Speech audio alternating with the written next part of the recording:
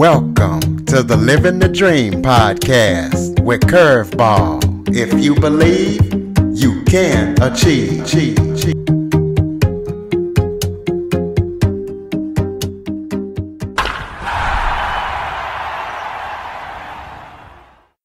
Welcome to the Living the Dream with Curveball podcast, a show where I interview guests that teach, motivate, and inspire Today, I am joined by former businessman, former police officer turned author, Alfred Anderson. Alfred started out as a businessman, then he became a police officer, and he is now an author. And what he's here to talk about today is how the public doesn't know their rights, their constitutional rights, and exactly how they need to be interacting with police officers. So he's going to give us some education on that from the experience of a police officer. So, Alfred, thank you so much for joining us today. It's a pleasure being here with you. And uh, it's always fun to kind of explain from a deputy sheriff's point of view the abysmal lack of understanding of the populace of their constitutional rights. So that's what I really try to explain in my book, Deputy Know Your Rights. Well, before we and, jump into that, okay. let, us go ahead and kind of give the listeners a little background on yourself. Well, basically, I became, uh, after years of being in business, I owned a number of businesses, sold them, and basically retired when I was about 40. And uh, I decided after you know, maybe about a six months uh, sabbatical, I decided, hey, I can't just do nothing. So I I always wanted to kind of explore either law or law enforcement, and uh, I decided in the end to uh, after being after I have gone to the University of University of Colorado and a college and a university in England after five years, I decided that, eh, I don't think I want to go through three more years of education to be a lawyer. So I decided to go to the College of Southern Idaho in uh, Twin Falls, Idaho, and study for a year to be a law enforcement officer. And after that, I was hired on with a rural Western Idaho department to be a deputy sheriff. And to say the least, it was probably the best career of my life because it was so enlightening and so instructive to me uh, to exercise power, but in a way that was good for the people. And I live by the adage that humility is the power that makes, is the catalyst that makes power benevolent. In other words, if you're not humble and understanding where the power come from comes from you basically tend to abuse the power. And that's we're seeing so often now in common police stories that are abusing the citizens and that's just it's horrible. So i speak of that is in my experiences through anecdotal stories in the book but also to explain to the public how little they know of their constitutional rights, especially the Fourth, Fifth, and Second Amendments, and how they should interact with the police. And it's important because uh, the police abuse the citizens of their rights. Well, explain to people who who might not know what those three amendments are, okay. or you know, you talked about the fourth, the fifth, and the second. You, you know, go through each one of them and explain to the uh, listeners what they are who who might not know. Absolutely. The Fourth Amendment is probably um, the second or third most important amendment of the first 10. Uh, the Fourth Amendment basically explains your right against unreasonable search and seizure of your person, place, houses, and effects without warrant by the government to take or search what you have. Now, that's in a very much of a synopsis form, but basically it says a police officer or any law enforcement officer must have probable cause to search or seize those things your person, place, houses, and effects, so on and so forth. So, in others, for instance, if I make a traffic stop, I have to have probable cause to make that stop. In other words, a violation has occurred, whether it be speed, which is common, uh, a traffic, uh, a tail light that doesn't function, but I must have a violation of either traffic code or criminal code to stop that vehicle. I just simply can't, as a law enforcement officer, stop you without probable cause. Now, what is probable cause? Probable cause means that a crime has been committed or is about to be committed. In the case of traffic code, it just means a violation of the traffic code, but it you have to substantiate that when you make that stop. I simply can't stop a vehicle because I want to. The color of the car, the color of the skin, the whatever it might be. I can't just stop you because I feel like it. No, I have to have probable cause. And that's important because it's a protection of the person or the citizen against unreasonable search and seizure. And that's what the Fourth Amendment is. Now, let's go to the Fifth. So, as soon as I stop you, you have a right to main, remain silent. That's the common Miranda uh, recitation. Okay, basically says you have a right to main, remain silent. Anything you say can and will be used against you in a court of law, so on and so forth. Okay, it means shut up. Don't say anything. In other words, if I come up to your car and I ask and I say, Do you know how fast you were going? Or have you had anything to drink? Or is there anything in your car that is suspicious or I should know about? You just simply say, Officer, I prefer not to answer your questions. And that's your right. All you have to do, for instance, in a traffic stop, is to provide your license, your registration, and your proof of insurance. That's state law on most states. I, I, I don't think there's a variance in any other states on that matter. So driving is not a right, it's a privilege granted by the state. So when you take and you obtain a driver's license, you ha- you basically say that when you're stopped, you will produce those items.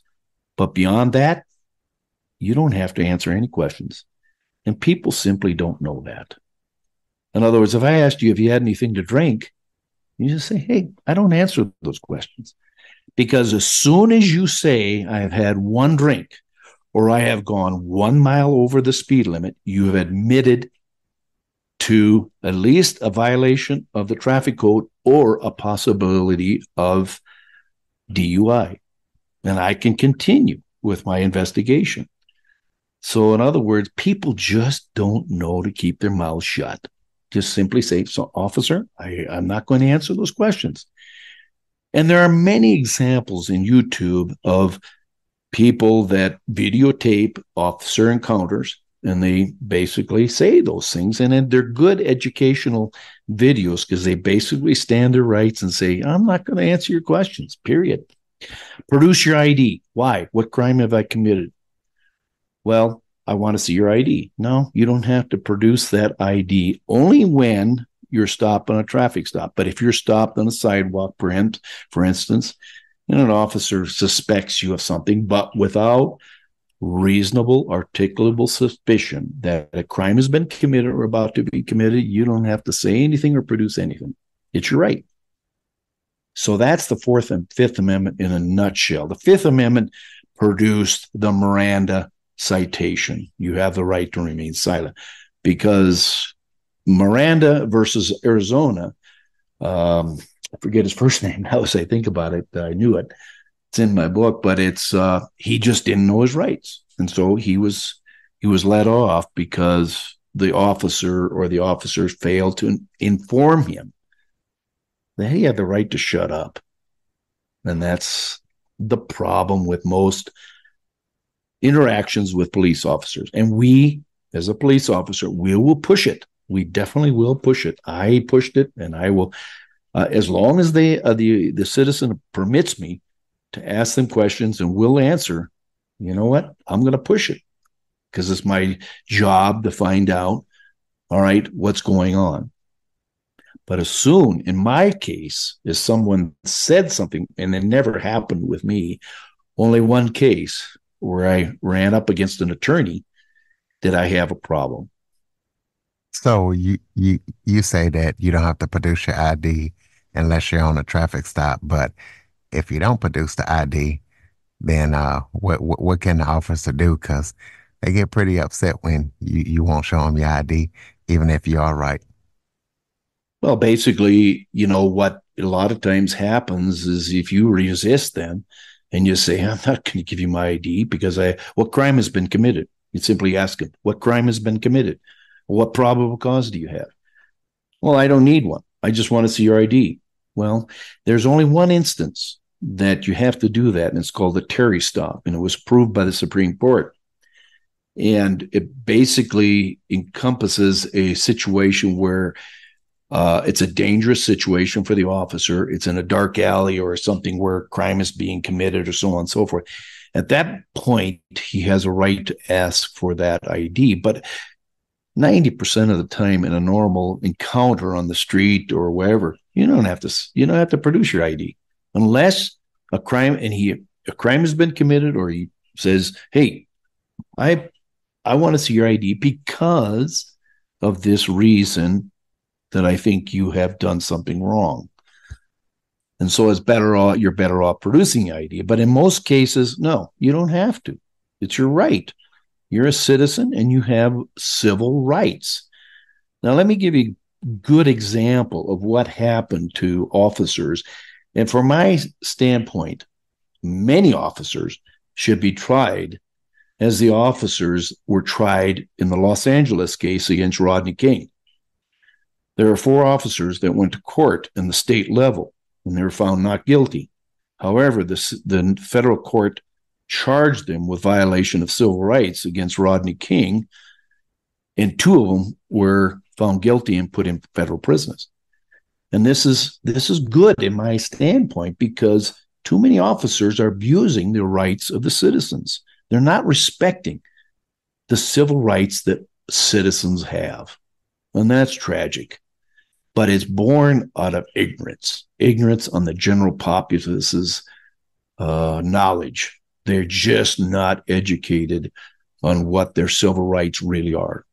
No course in the in the country, as far as I'm concerned, high school, college teaches what is so basic and what every every citizen should know the origin of the constitution why it was why it was formed in such a manner and the rights the first 10 amendments are so important and when Benjamin Franklin left the Conventional Congress in 1778, a woman stopped him on the street and asked him, What form of government have you given us, sir? And he replied, Ma'am, a republic, if you can keep it. Absolutely. So tell us what we can do, or, or, or how can people go to learn their rights and and you know be up on the rights that, that you talk about so they will know them?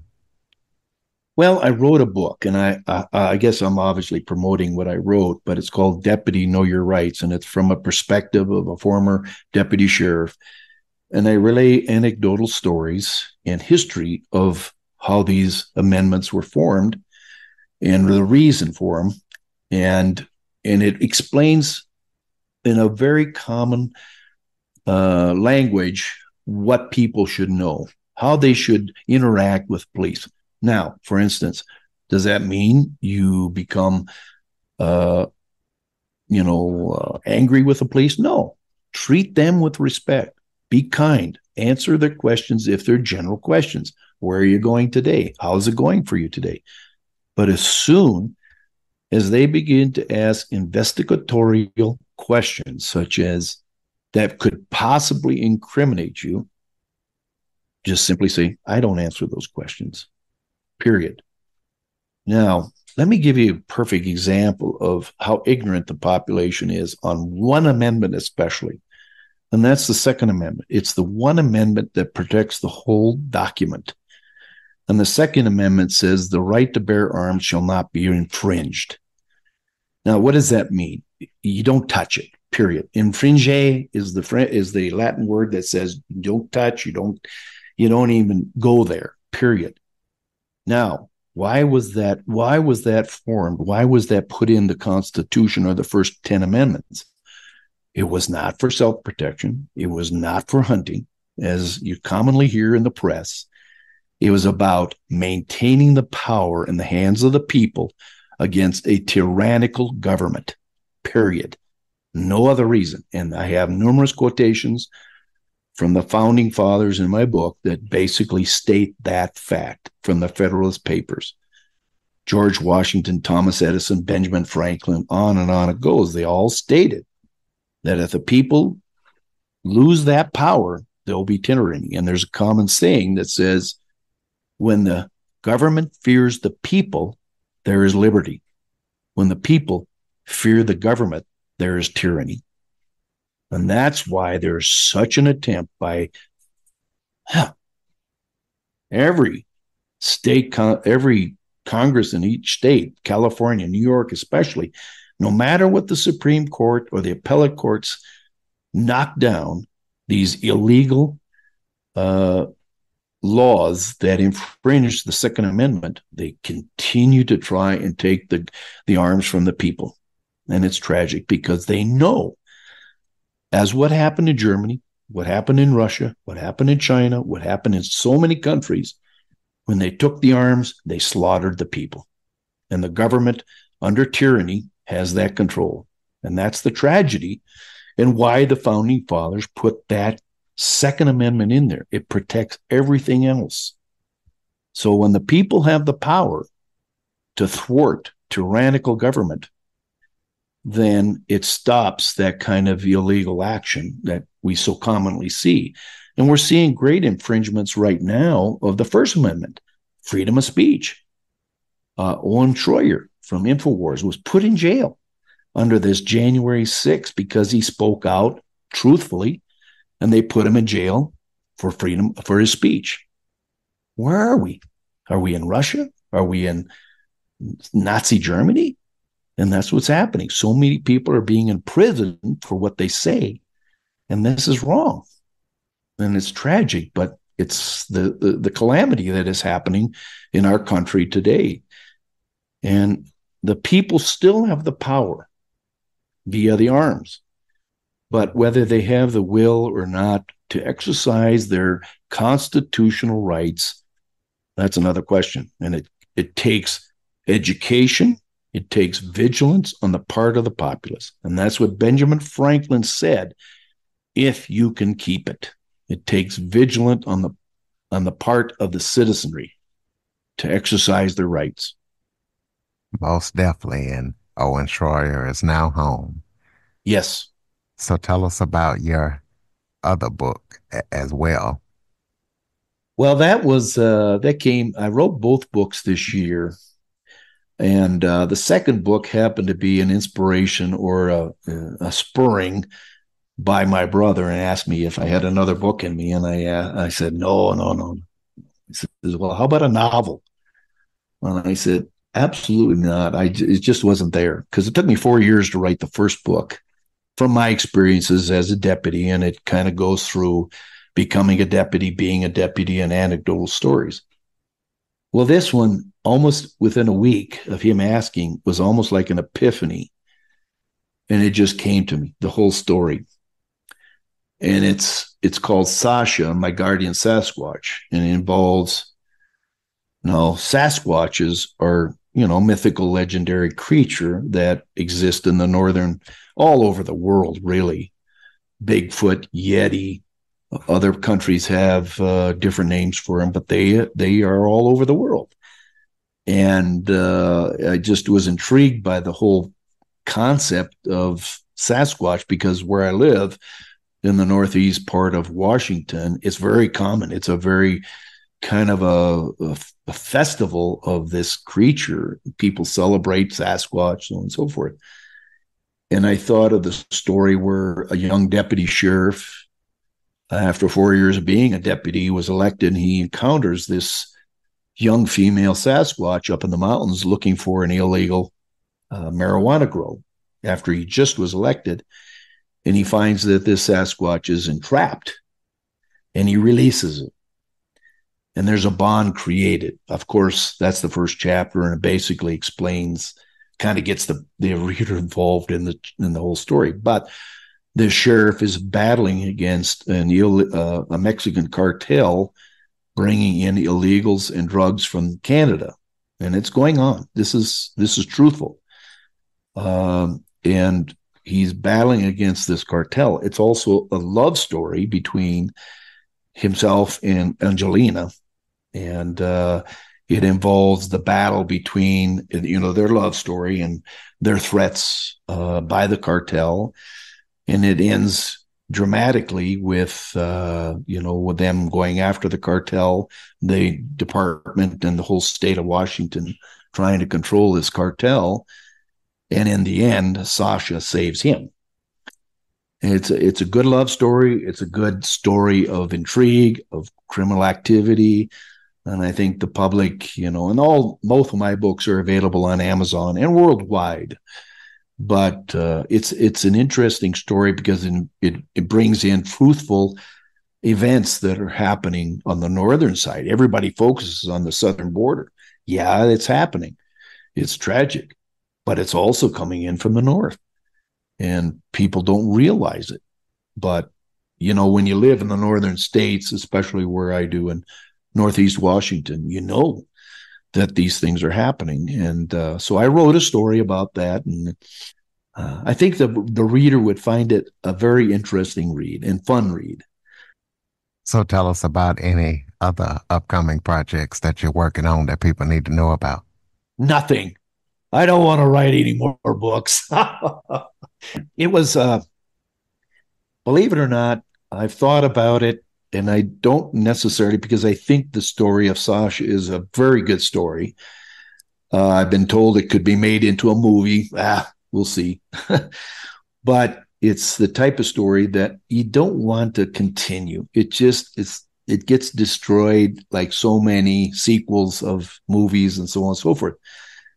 So it would have to be something different. And for some reason, um, I'm amazed that uh, that I even got that far writing books because I never thought I had it in me, and it's it's been fun.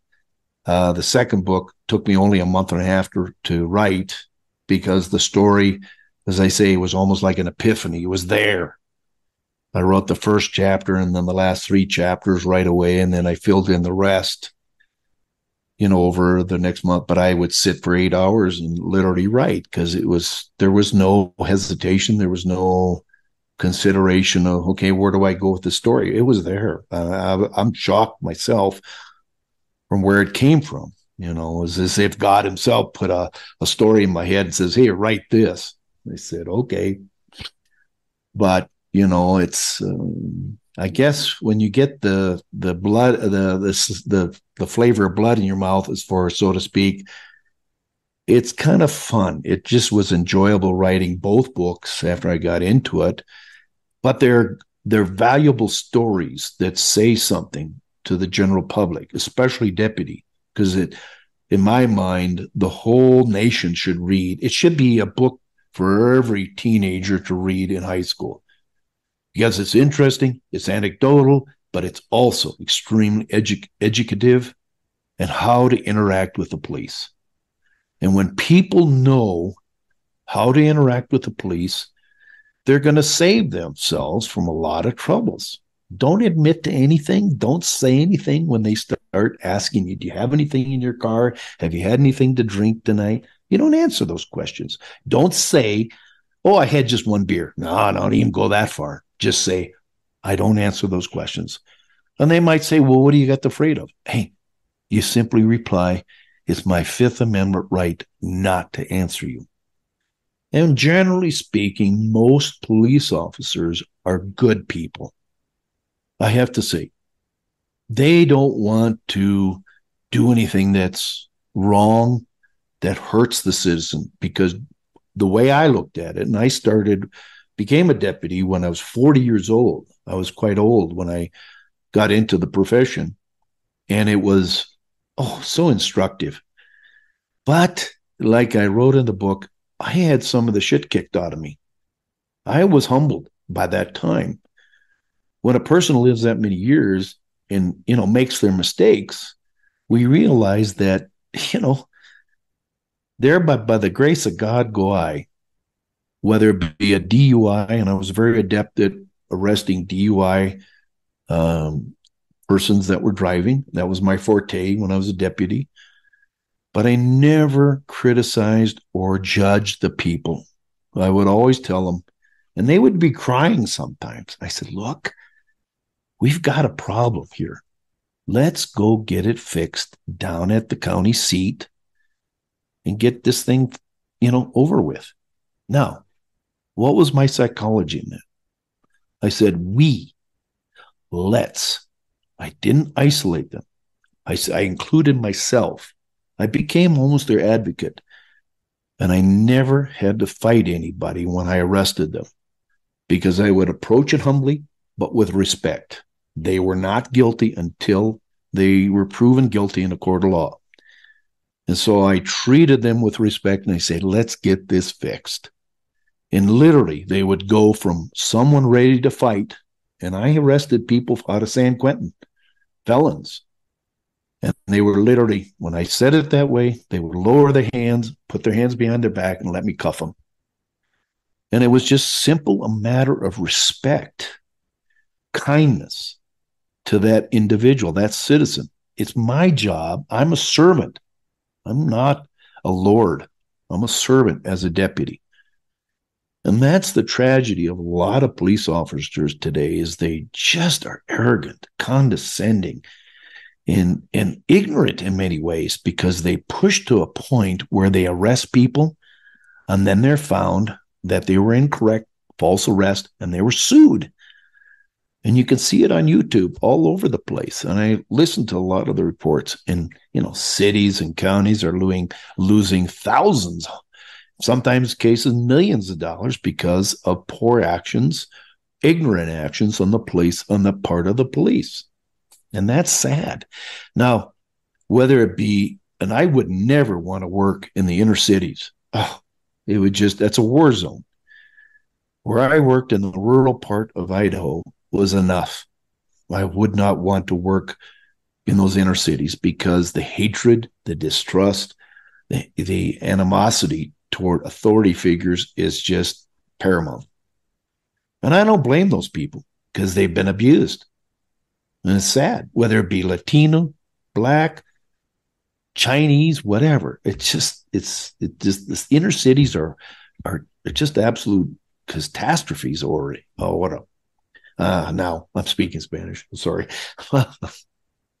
well, tell us about uh, any websites or con- contact info that you have so people can keep up with what you're up to. Well, basically, I have a Facebook page, but it's under my name, Alfred Anderson.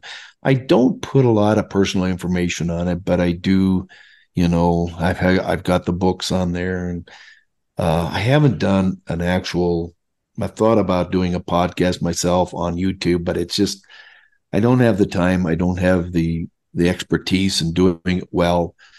But uh, I would advise people if they want to learn and read good books, you know, interesting books. Uh, it's all available on Amazon under my name, Alfred Anderson, under those titles, uh, two books. You can get them in hardcover, softcover, ebook, and now audiobook on their deputy. And uh, I can only say to the general listener that they're very important to read. At least the first book on deputy and knowing what you were never taught as a as a as a citizen. Never in the educational system did you hear what I present. And it's simple. I put it in anecdotal stories, but also the origins through many, many references, so on and so forth.